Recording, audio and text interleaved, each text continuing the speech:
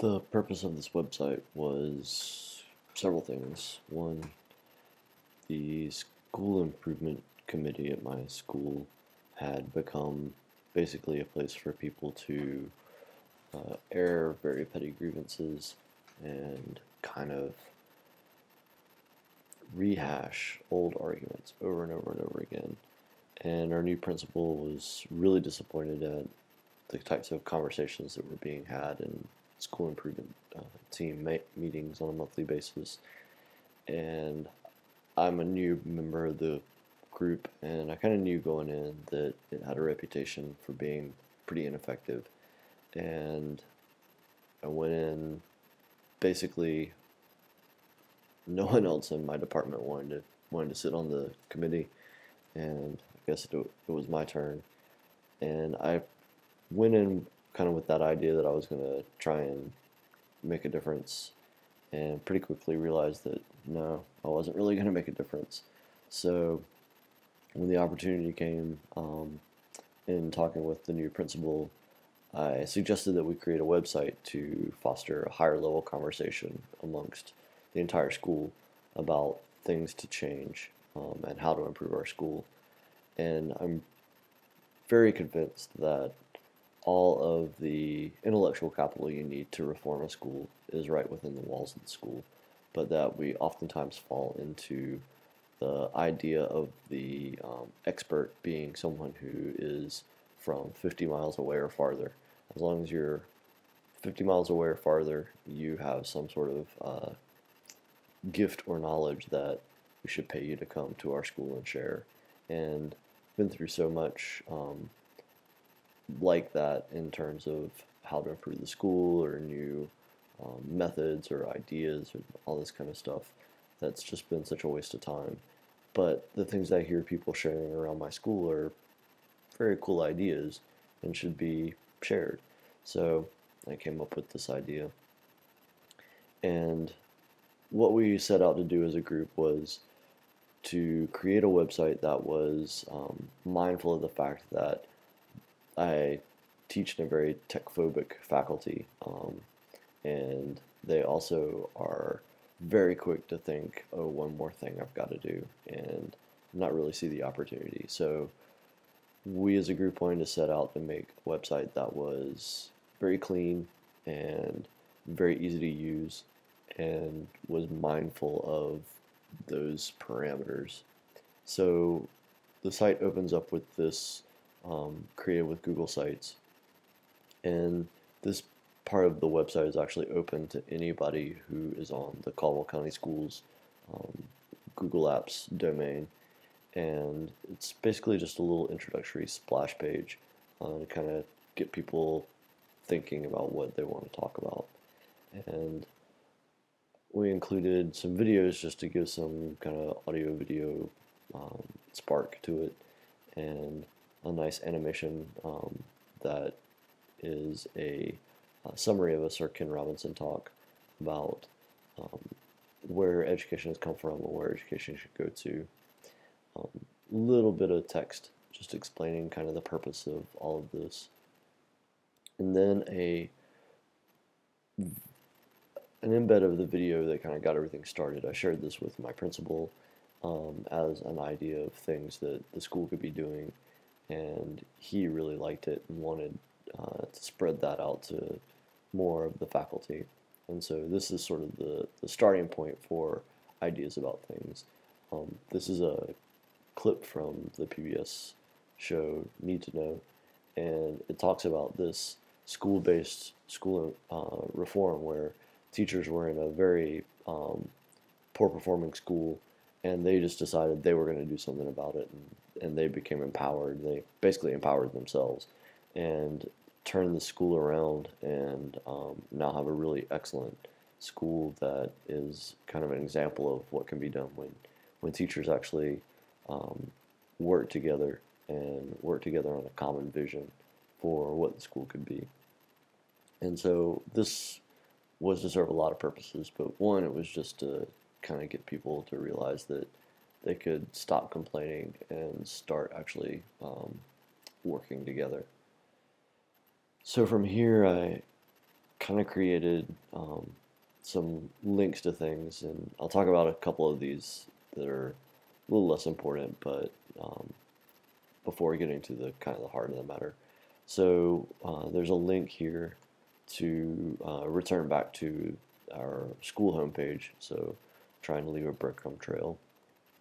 And then created a page that was um, to give a bunch of uh, resources. So some general education resources, some subject area resources, and then a place for other types of resources that don't fit well. And these are really kind of those things that we're encountering in the media um, that are really different ways of looking at what we do. Um, so there's this discussion of should everybody go to college, which is kind of very um, radical right now since we're moving to the Common Core and and the idea that everyone should go to college or some type of uh, post high school education. Um, another one about how telling kids how smart they are um, kind of hurts their performance, um, one of those non intuitive things.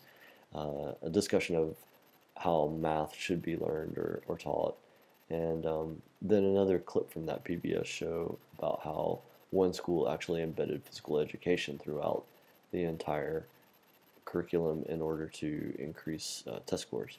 So these things were designed to kind of get people thinking about really different things, different ways of looking at, at schools and, and school issues. I also included a uh, screencast of how to write on a blog, and that really gets to the heart of what the uh, website is all about. And so I wanted to create something for those people in my school that are not real uh, tech savvy to be able to write on the blog, even though it's it's no more difficult than just writing on a word processor. Uh, I figured that they would want to uh, have some sort of guidance as to how to do that. And that brings us to the heart of the website, and that is three blogs that are all created around the goals that have been set forth in our school improvement plan. And the school improvement plan is one of those things that the school improvement committee works on very feverishly once a year, gets it together, and then it gets signed off on and put in a file somewhere, and that's it. And that was something that our new principal was decidedly against, um, that it was not going to be just put away and then brought back out next year for us to rehash and, and rediscuss. He wanted that to be an ongoing part of what we do as teachers. So, in discussions with him, I kind of said, you know, we could set up blogs that would allow people to kind of put forth their ideas, discuss things, and have a, a higher order conversation about school improvement, something that had long term vision. He was all for it. Um, the one stipulation that he wanted was that this was going to be closed only to school faculty so that it wasn't something that the general public could see, uh, so that we could have a little bit more freedom to discuss very different ideas. And so uh, the nice thing about using Blogger from Google is that you can do exactly that. You can limit the uh, limit the blog to only those people that you authorize, and so that gave lots of um, ability to control who was being talked to and seen. And so uh, the first blog um, dedicated to the academic growth part of our school improvement program. And I was getting a little frustrated because I presented this to school improvement team and it was kind of um, I don't know it was a little bit of a dismissive experience for me. Uh, I was introduced as you know I was going to talk to them about how they could use Google Docs in their classroom, and I was gonna uh, the exact words were I was gonna share a little something about Google Docs, and you know it's real hard in my school to, for people to uh, kind of listen sometimes to me. It's I get written off as like the little tech geek, and I'm gonna share a little something, and you know it's just technology, and they don't really have to worry about it. So I started writing some stuff and, and trying to set some good examples. So this was the first post I did on this website. Um, and I wanted to show, you know, put a picture, include some links, and just start a conversation, you know. Start, give an idea of what you think, and then ask some questions for people to respond to. And I was getting a little discouraged because nobody was even joining the blog, let alone um, writing anything to it. And then yesterday, I started seeing that people were starting to join and they were starting to write their own things about, well, you know, what if we did this? So that gives me a little bit more hope that people are actually starting to embrace it. Now, granted, it's not the people from the school improvement team, it's the people in my department because I've been talking this up. And when they start talking to me about ideas, I say, you know, that's a good discussion to put up on the blog. And I hope that they're going to start kind of picking up some momentum with this. So I included a link back to that main page as a breadcrumb so that we could go back and forth. And you can see that there is a different blog for each one. Um, and I even showed people how to do comments. And so starting to get some comments on some of these posts is definitely showing that the conversation is, is starting to be continued. And each time I check, there is more. There are more people who are joining the blog now. I don't have great data yet from the stats page on Blogger as to how much people are looking, but it's one of the nice features about this for accountability purposes. We can actually look up stats and see for the week where we're getting more and more page views. So that'll be interesting data to share with the principal as far as the usefulness of it. Um, the great thing that I have is I have a principal who is 100% behind this idea. He uh, talked of it very um, complimentarily uh, in the school improvement committee meeting and kind of made it pretty clear that this is what he was looking for. This is what he wanted um, and what he expects the school improvement team to be pushing to their departments. So the last thing that I wanted to include was, you know, we're constantly being bombarded with the idea that we should be data driven, data driven, data driven. And unfortunately, I think that um, in education right now, data driven means here's your number target, make your numbers hit that target. And really what data driven means is that when you are thinking about doing something, you look at research that's been done on that and see how effective it's going to be. And a lot of times, the things that we want to do are things that feel like they would be good, but there's no data to support them.